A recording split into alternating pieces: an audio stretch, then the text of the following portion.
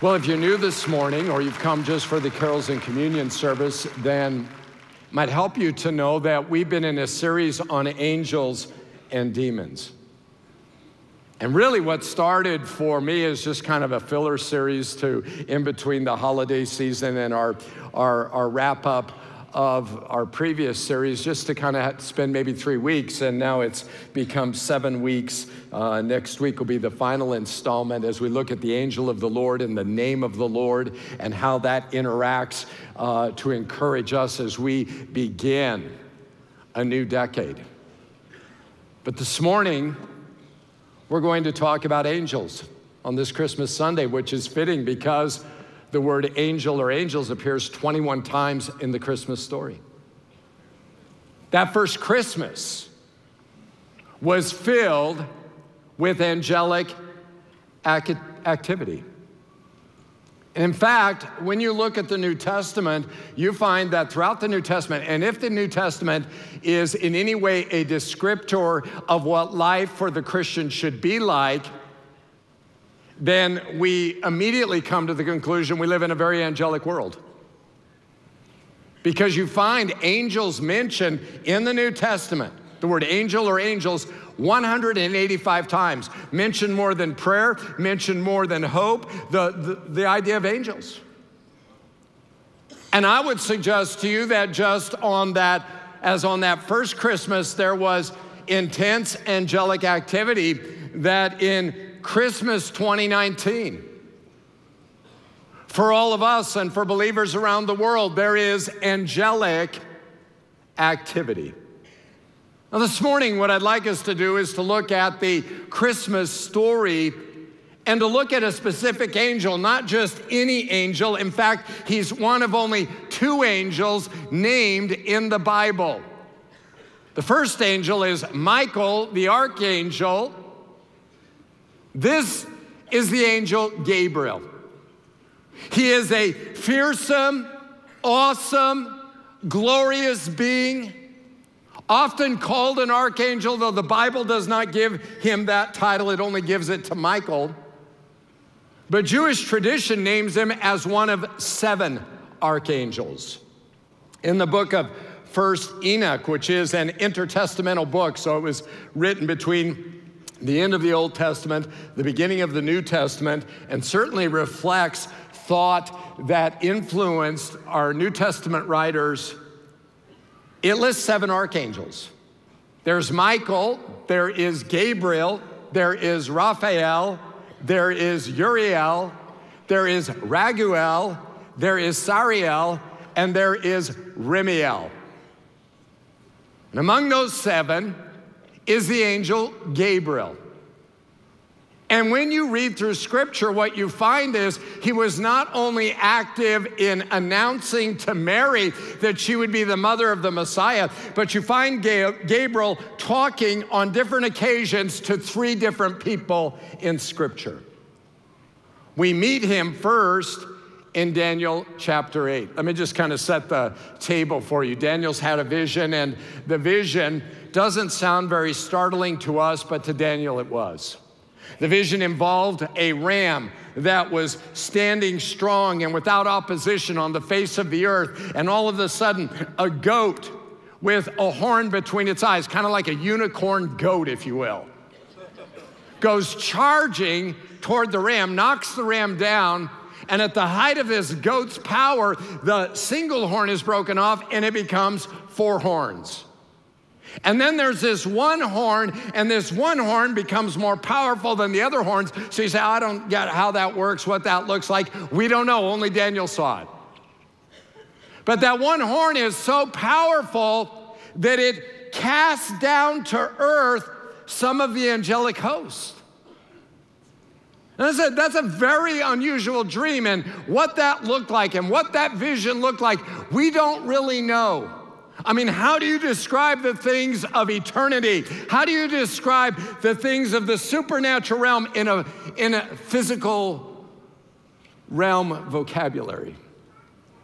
Daniel gets done, and this is how he felt about it. Verse 27. Then I, Daniel, was overcome and I lay sick for several days. Afterward, I got up and performed my duties for the king, but I was greatly troubled by the vision and I, I could not understand it.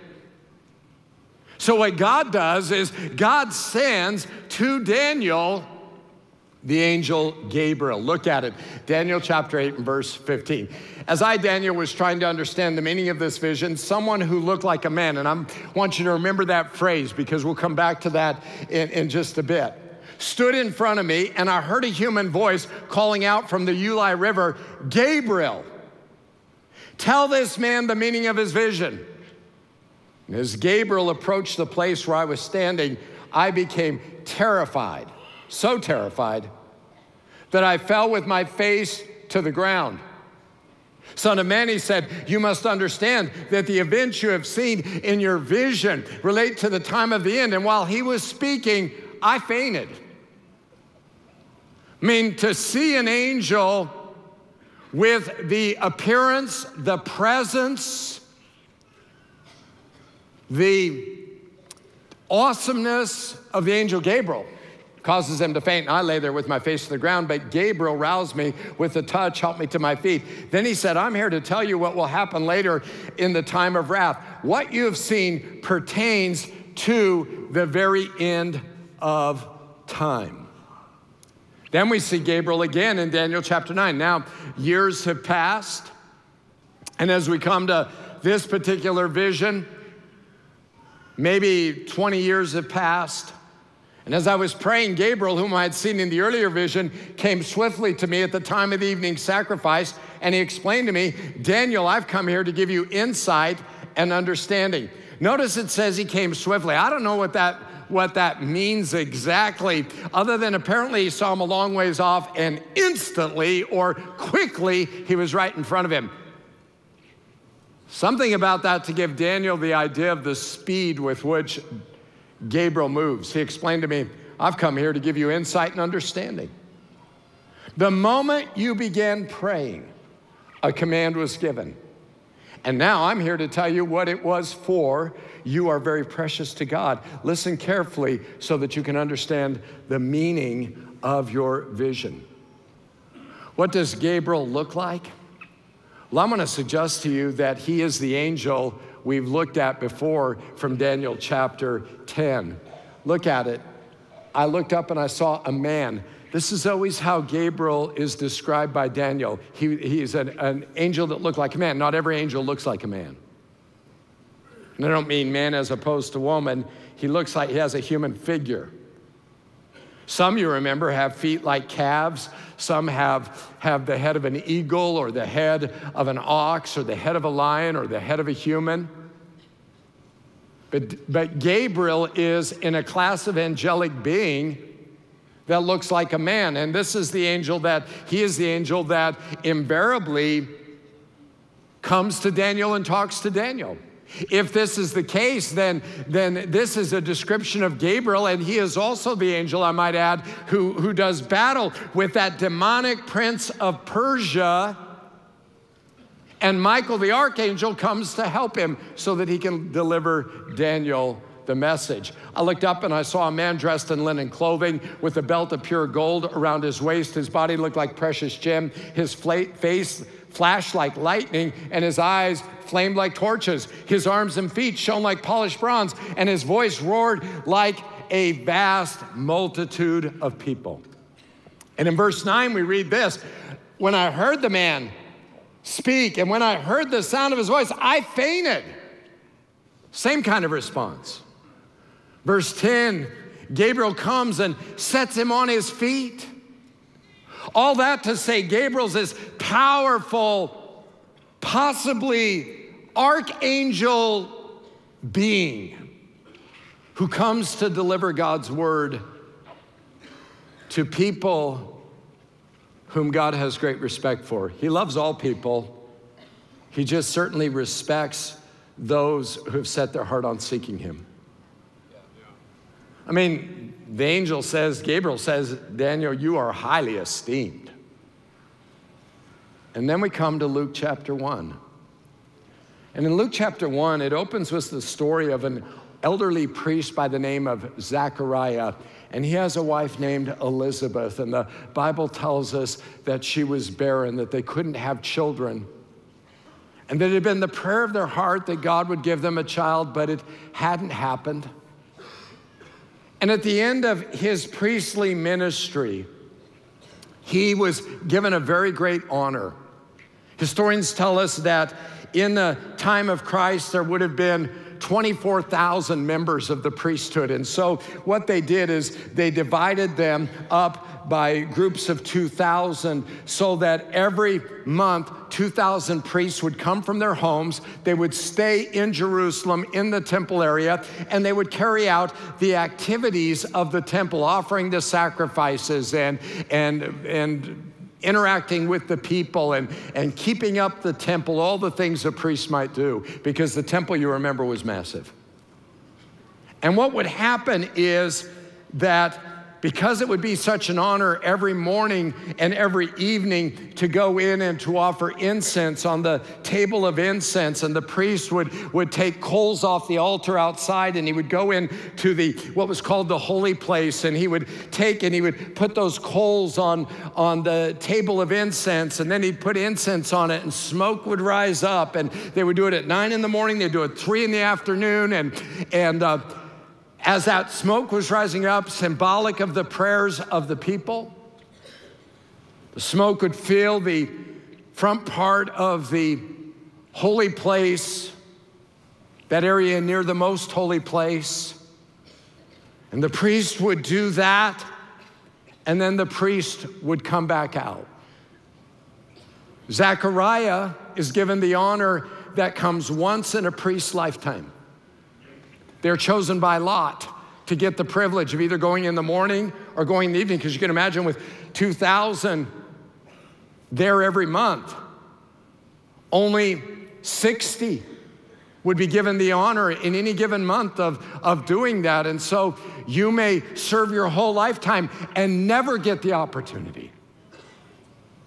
Zechariah, at the end of his career, is chosen to go into the holy place to offer the incense on the table of incense. And it's, it's a great day for he and Elizabeth. It's, it's like the, the cherry on top of his career as a priest, his calling and his service as a priest. And as he goes in there, and he's offering the incense there on the table, suddenly an angel appears to him. Not just any angel, though an angel would be, any angel would be fantastic. It's the angel Gabriel. And the angel Gabriel comes to him and says, Zechariah, your prayers have been heard.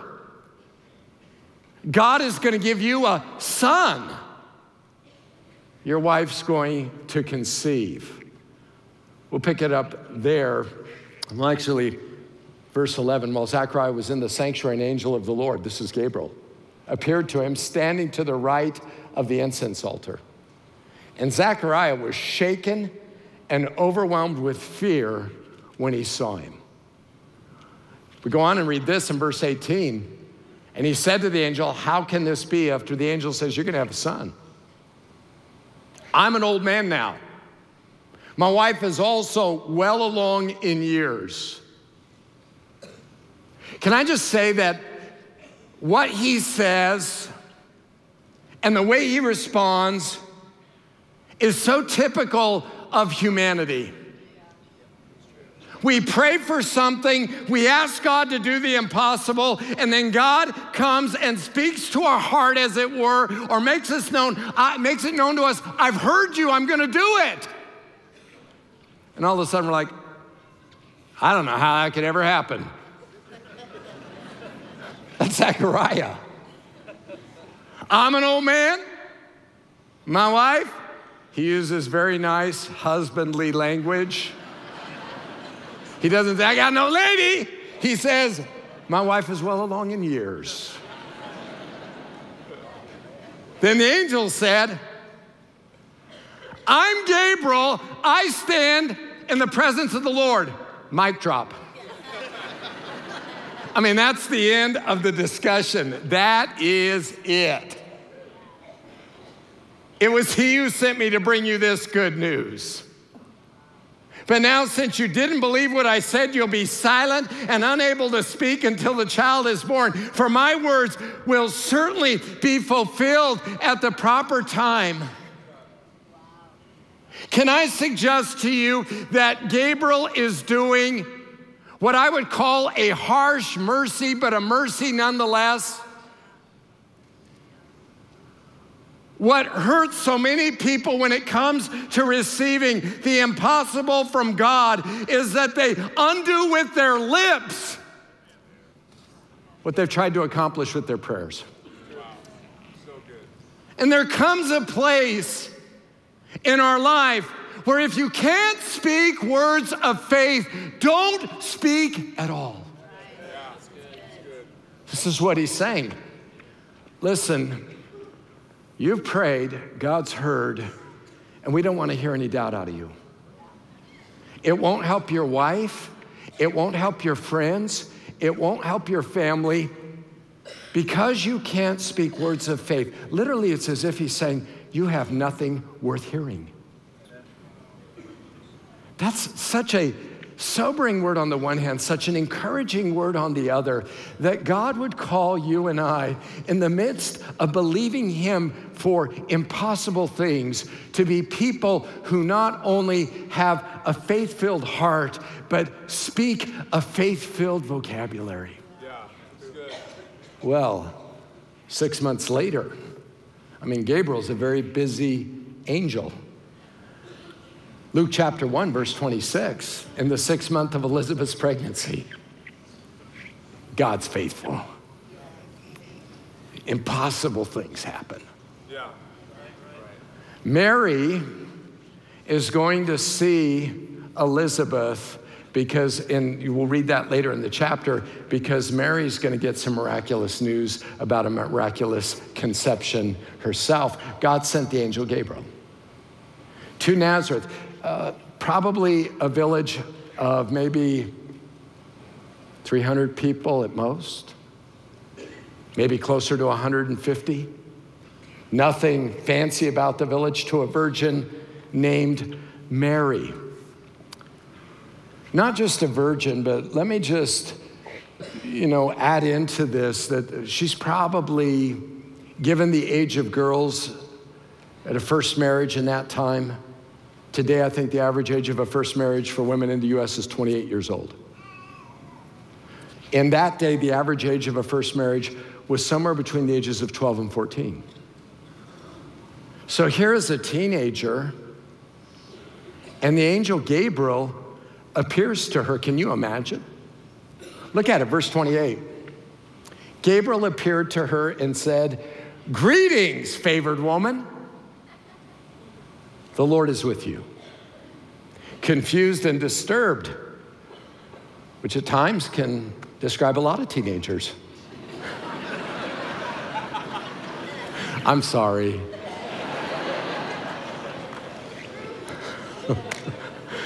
okay. Mary tried to think what the angel could mean. Don't be afraid, Mary, the angel told her, for you have found favor with God. And then he gives this amazing prophecy, and everything happens exactly like he said. I want to give you just, as we wrap this up and head to the table of the Lord, I want to give you five lessons from Gabriel's ministry on this Christmas Sunday or this Sunday before Christmas. Number one, don't be afraid of what God has for you. As you look ahead to this coming year, this coming decade, what's your heart like? Are you dreading it? Are you saying what you say? If you knew my circumstances, you'd be filled. No, no, I'm just, where are you at? I mean, Gabriel's message is repeatedly, don't be afraid. Look at it. He says this. He said, don't be afraid to Daniel. He said, don't be afraid to Zechariah. He said, don't be afraid to Mary. Calls each of them by name. God knows your name. God knows what you need. God knows what you've asked. And we certainly could primarily apply that, that word of not being afraid to not being afraid of Gabriel's presence. But Gabriel's presence is not the only thing. That fear, honestly, is momentary. The other fear, and perhaps the greater fear, is the words he announces. Your, this is what's going to happen to you. This is what's going to happen to God's people. This, this is what the future holds. How do you view the future God has for you? Are you afraid? I mean, on this Christmas Sunday, the truth of the matter is, we don't ever need to be afraid. It's such an encouragement to know that you don't have to fear what God is doing. Well, what if I don't like it? You'll love it if it's God doing it.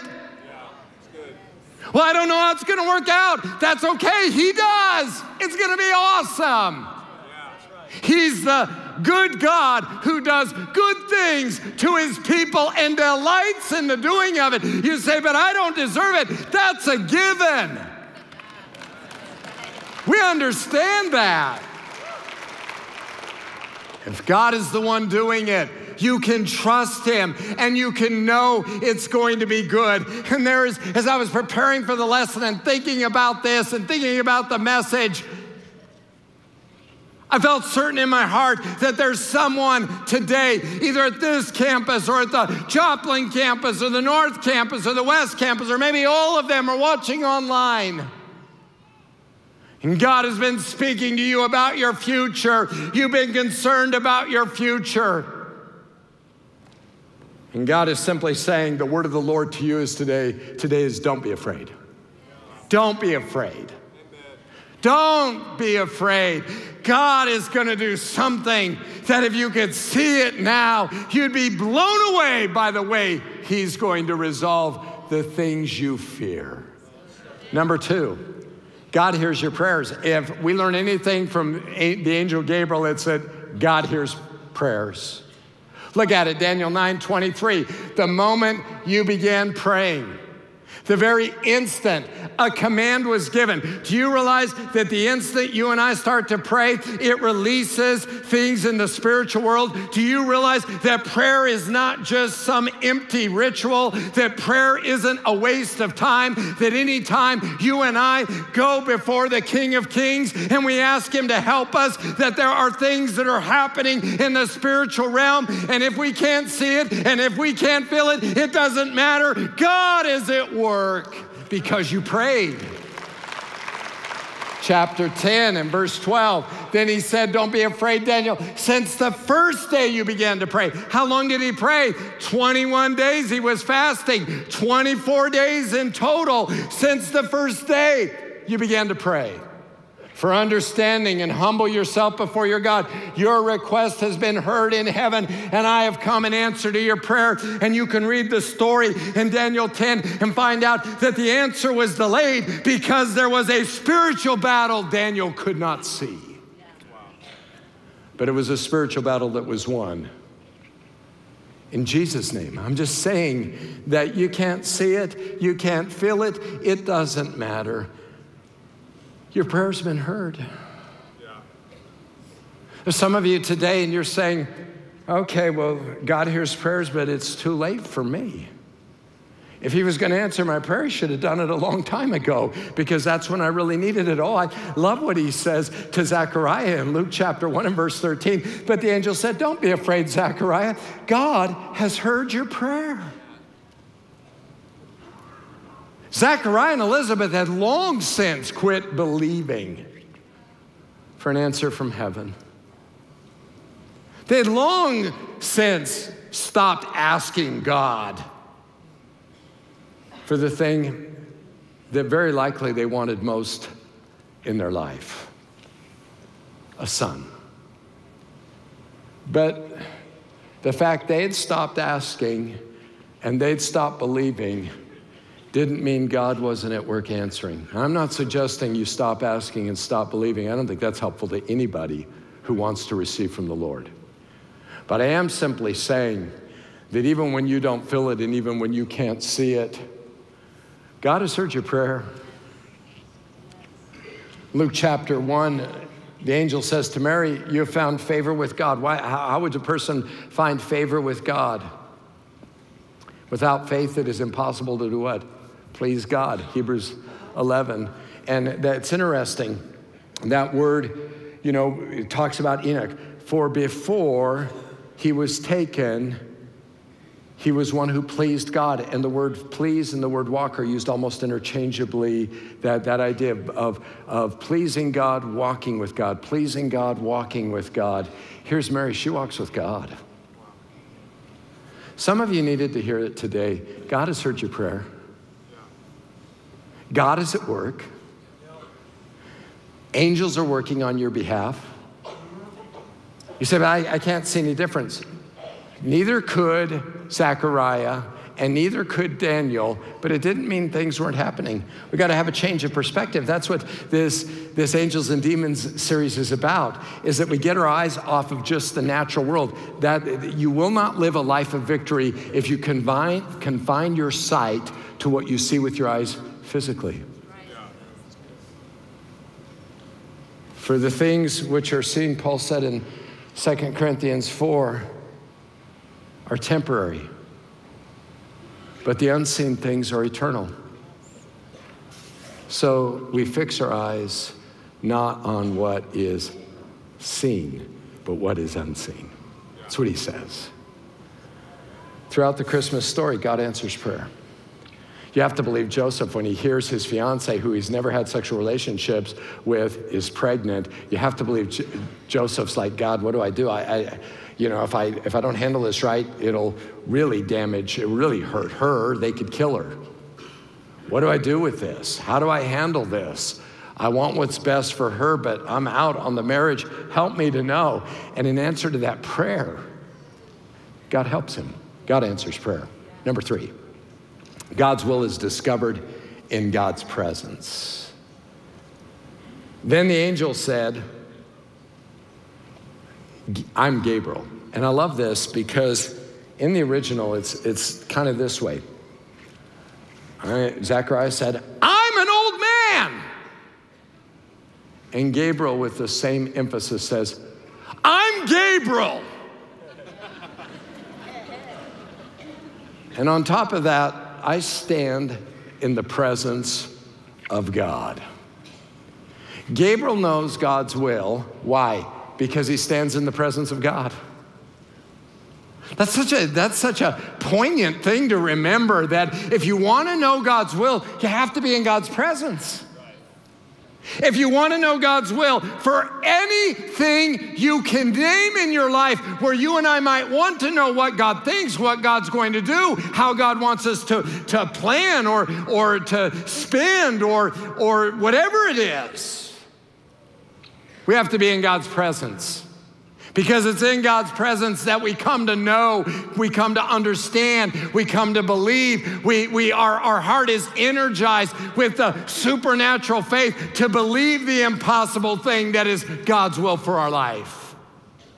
Listen, as we stand on the threshold of 2020, as you think in those days between Christmas and New Year's Day, I pray your heart is gripped with what will this coming decade be like for me? God, what is it that you want to do? What is it that you have for my life? What is it that you have for my family? What is it that you want to do in the place where I work, in the neighborhood where I live? God, show me your will. Let me know what you have for me.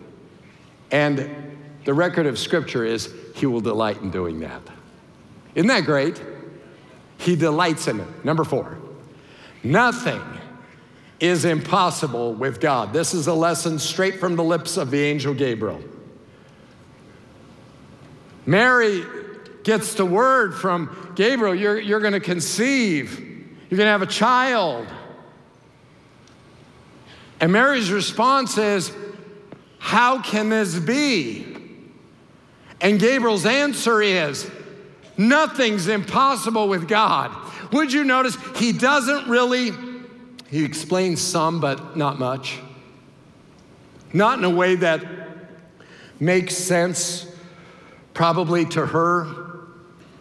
Certainly not in a way that we can completely understand, even in our own day.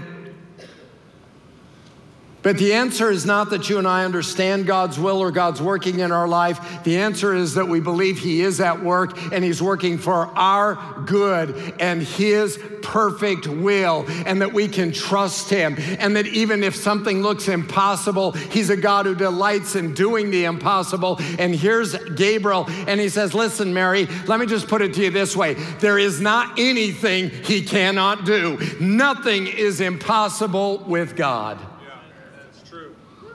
This is a being who has watched him from the beginning of time. This is a being who watched him take nothing and speak everything into existence out of nothing. This is a being who watched the fall of mankind and watched God promise a redeemer. This is a being who watched God work time and time again to deliver where it seemed there was no way. When the children of Israel were in Egypt in bondage, he sent a man named Moses and use them to deliver a nation out of bondage. He saw every promise God made in the Old Testament to send a Savior, and he saw God getting everything ready. He saw that when for 400 years between the ink drying on, my, on Malachi's parchment and Matthew picking up his pen, he saw that, that time. He saw those 400 years, and he saw God working when to humanity it seemed nothing was happening. Yeah.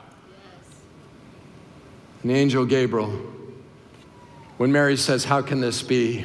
draws this conclusion I've seen him work, I've stood in his presence, I've marveled at his wisdom, and I'm just telling you, he can do anything. He can do anything. For nothing is impossible with God. How can God come in the flesh? Nothing's impossible with God. How can God forgive all of my sin? Nothing is impossible with God. How could God adopt me as his child? Nothing is impossible with God. How can I, with this human body, someday have a heavenly body that will, will reflect his glory in a way I can't begin to imagine? Nothing is impossible with God. What's your impossibility? Give it to him. Number five, Jesus is God's son the forever King, sent to save us. That's Christmas. Gabriel appeared to her and he said, You will conceive and give birth to a son, and you will name him Jesus, which means Savior. You're going to call him the one who saves because that's what he will do. He will save people. And he'll be very great and will be called the Son of the Most High. He's going to be called the Son of God. He's the Savior, Son of God. And the Lord will give him the throne of his ancestor David, and he'll reign over Israel forever, and his kingdom will never end. He'll be the forever king, the ruler of the ages for all eternity. And that's Christmas. There's nothing wrong with all the other things that society can do with Christmas and the world in which we live. But Christmas is about God sending a Savior, it's about God sending Jesus. That's why at every one of our campuses, I can't wait till we have it in Joplin in a, on the main street there. We have the words, the word Jesus out front in big letters so nobody can miss it. Christmas tree, Jesus. Tiny Christmas tree, Jesus. Because we want everybody to understand Jesus is what Christmas is all about a Savior, God, the forever King. Who is given to us as a gift. Have you received that gift? Have you opened your heart to that gift? That's what Christmas is about. Let's pray for just a moment. Heavenly Father, I thank you.